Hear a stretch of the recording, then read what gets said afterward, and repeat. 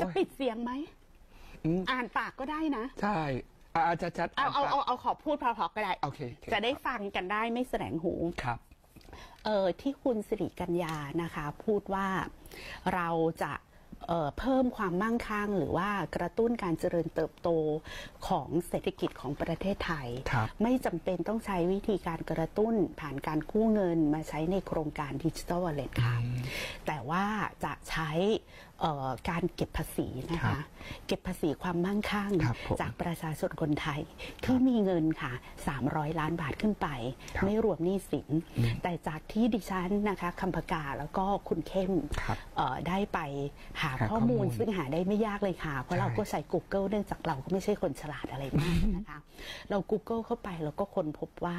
ข้อมูลจากธนาคารแห่งประเทศไทยล่าสุดครับคนที่มีเงินฝากในบัญชี 200 ล้านบาทขึ้นไปมีแค่ประมาณ 2,500 บัญชีเท่านั้น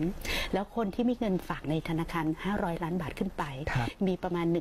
1,578 บัญชีเท่านั้นค่ะครับเราก็ตีเป็นตัวเลขกลมๆนะคะว่าคนที่มีเงิน 300 ล้านบาทขึ้นไป ที่จะให้คุณหมวยแล้วก็เอ่อพักก้าวไกล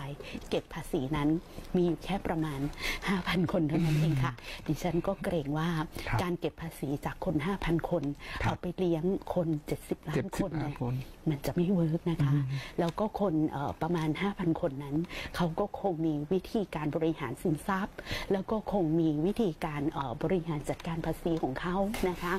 จนไม่สามารถที่จะเอ่อจนทำให้คุณหมายแล้วก็เอ่อพักนะคะไม่สามารถก้าวไกลอาจจะไม่สามารถเก็บภาษีจากเขาได้เต็มเม็ดเต็มหน่วยนะคะ ก็ขอแสดงความเสียใจมาณที่นี้ก็ไม่แปลกใจนะคะว่าทำไมคุณหมายนะชอบคิดว่าประเทศเราเป็นเพียงลาตัวหนึ่ง